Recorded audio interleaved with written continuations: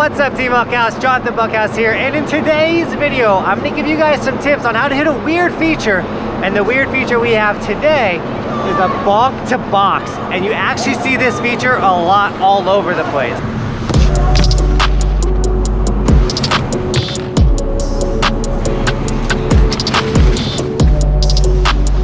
Now, I know how a feature like this can be super intimidating because you're like, I am just learning how to hit boxes, and now they put a bump in front of it. So like, how am I gonna complete this box? But the nice thing about this feature is it's actually designed to kind of scare you a little bit, but it's not that bad. And what it gets you used to is actually jumping onto a box. So with a feature like this, your approach is gonna be straight on. So you're just gonna ride directly straight at that lip. And then what you need to realize is, what you gotta think is that that bump going into the box is actually still the kicker of the feature, but it's going from snow to plastic. So you just keep your feet flat and allow that thing to kind of bump you into the air just a little bit and then get ready to absorb your landing on the box. So it's almost like jumping from the side onto the box, but you're not jumping from the side onto the box. You're kind of just getting a nice little bump and then landing in. What you don't want to do is be leaning back. If you're leaning back and you go onto an edge while you go on the barrel, you're gonna slip out and you're gonna have a bad time. So stay flat feet in a stacked position when you approach this feature.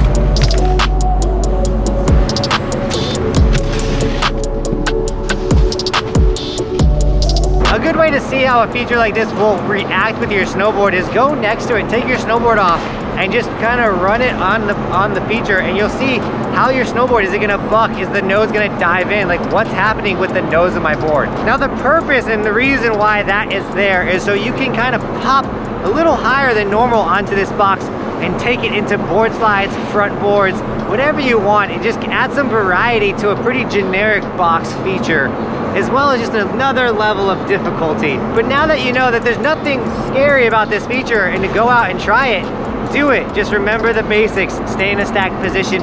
Do not lean back. Keep your feet flat and absorb your landing when you land onto the box and then just ride away like a boss. Now let me know if I missed anything or if you have any more questions guys, just comment that down below. If this video has helped you and now you want to send a feature like this, make sure you smash that like button. Also, if you're new to my channel, subscribe because my goal is not only to help you become a best snowboarder, but you want to join the strongest ski and snowboard community on the internet, and that is this channel. So hit that subscribe button. Also, if you want to support this dream and trips and all the stuff that I do with this channel, I do do this for a living.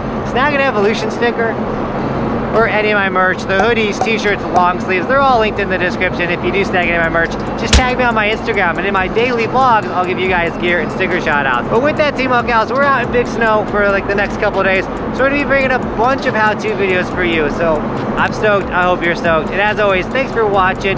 Keep evolving. We'll see you tomorrow with another video. I'm on top of the ocean, living like life ain't frozen. Feeling my feet been chosen for something other than motion, yeah.